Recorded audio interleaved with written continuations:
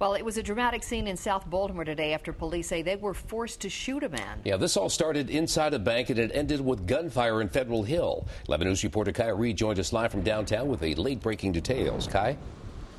Well, police say they feel very fortunate that there were several witnesses around the Bank of America and Cross and Light Streets around 1 o'clock this afternoon when a suspect approached a security guard at the bank. Uh, police say the suspect was able to overpower the guard, take her gun, and then tried to carjack a woman nearby. The man took off, started running through the neighborhood before police eventually caught up with him in the 1800 block of Light Street. According to police, that's when the suspect reached for the gun that he took from the guard, and officers opened fire in self defense. At least five shots were fired fired. It's not clear how many times the suspect was hit.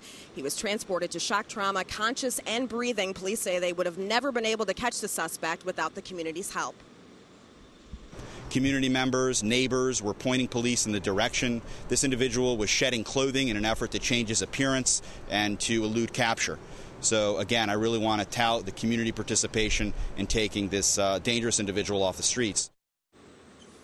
The, pol- the police officers and the security guard involved were not injured. There are some schools in the area. They were put on alert, but they weren't locked down. Police are currently interviewing the security guard to get more information about what led up to the incident. Reporting live downtown, Kai Reed, WBAL TV 11.